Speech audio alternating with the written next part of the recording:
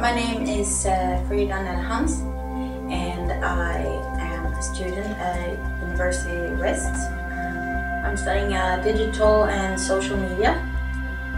Um, right now I'm helping out with uh, writing blog posts um, to uh, create uh, awareness about uh, the whole event and I will most probably be working with the Facebook page that, that World uh, Transplant has today.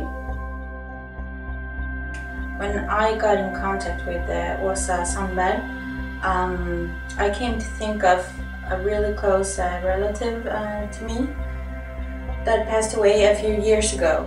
And I'm guessing and I'm thinking that um, if she could had a donor that could have helped her, then she would still be alive.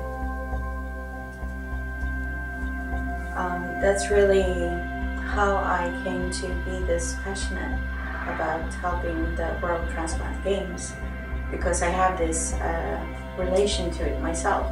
The advantages for me is again about creating uh, awareness about how important it is to help out with this.